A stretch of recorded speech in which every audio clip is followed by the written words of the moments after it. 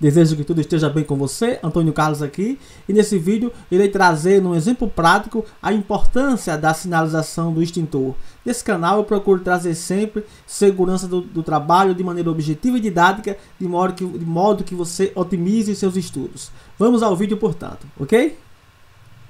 Mencionei a questão da da sinalização em relação à obstrução, porque aquela demarcação no piso ela facilita para que não ocorra o que está ocorrendo aqui nessa imagem aqui. Perceba que essa mesa aqui ela vai dificultar o acesso, o acesso a esse a esse extintor. Também aqui se tivesse uma placa aqui, principalmente na questão aqui de, de curto-circuito, estaria estaria bem mais fácil de ser visualizado o extintor e de ser acionado, que é a principal função, evitar um, um incêndio, ou seja, ser, que você haja no princípio de incêndio.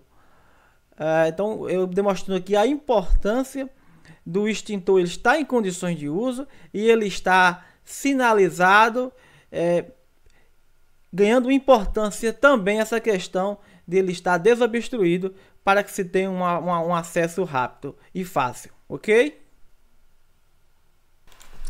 Espero que tenha gostado do conteúdo. Se gostou, deixe seu joinha, como também seu comentário. E abaixo do vídeo eu deixei o link do Kit ST, que é um conteúdo que eu criei focado para aprovação em concurso na área de segurança do trabalho, como também crescimento profissional. Link abaixo do vídeo. Fique com Deus e até o nosso próximo vídeo.